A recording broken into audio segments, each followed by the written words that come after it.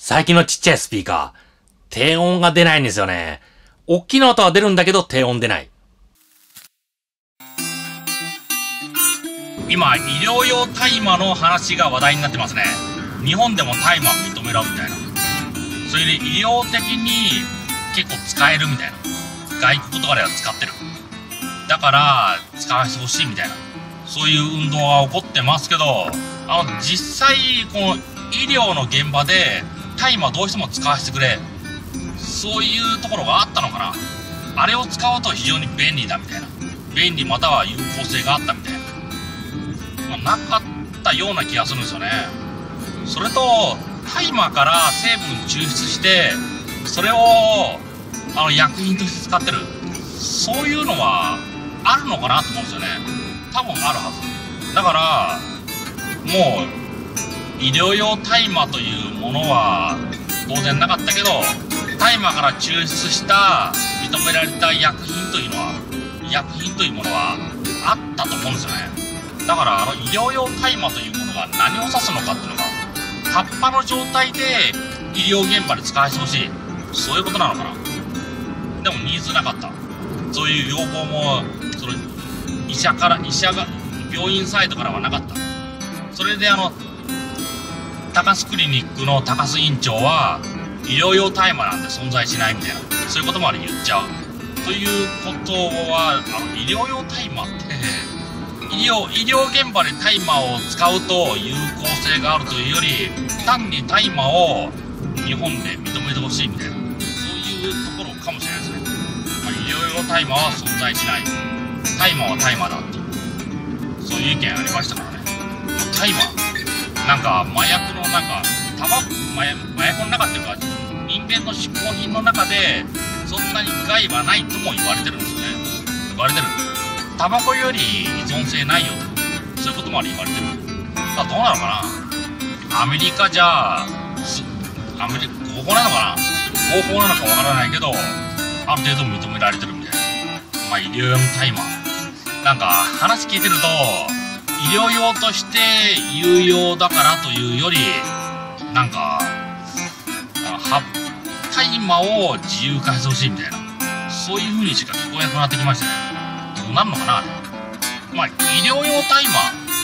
仮に医療用医療現場として使うってことであれば大麻の大麻の医療用途それだけは解禁していいと思うんですけどね。それだったら。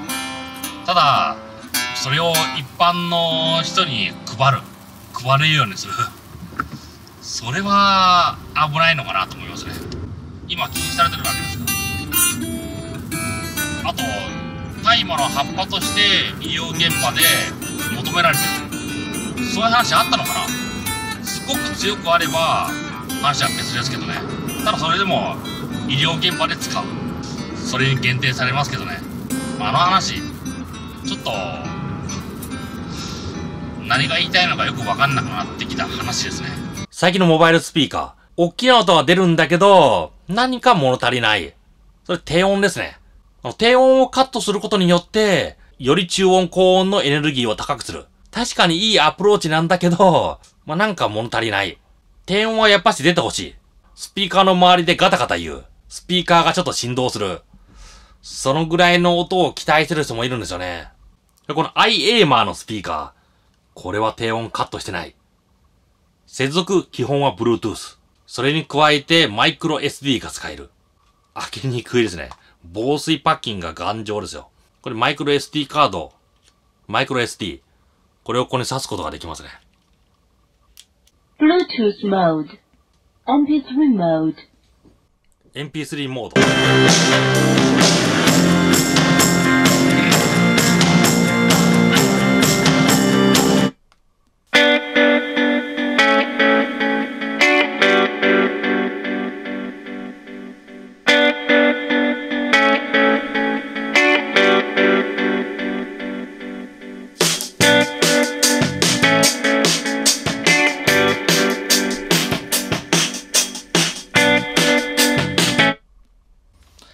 低音響きますね。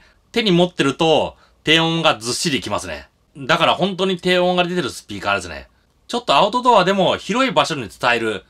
それはちょっと厳しいんですよね。低音出てるから、ボリュームを上げるとこれ自体がビビる。だから、テーブルに置いて、その周りで低音を楽しむ。近くに置いて低音を楽しむ。